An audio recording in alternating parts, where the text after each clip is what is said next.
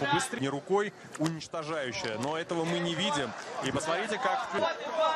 Ну, вот, пожалуйста, вот, пожалуйста. здорово пошел молотить, что называется, Данилов. Это добитие будет сейчас, чую. Вот так вот. Очень Кра- опасно. Данилова. Вот, перевод справа.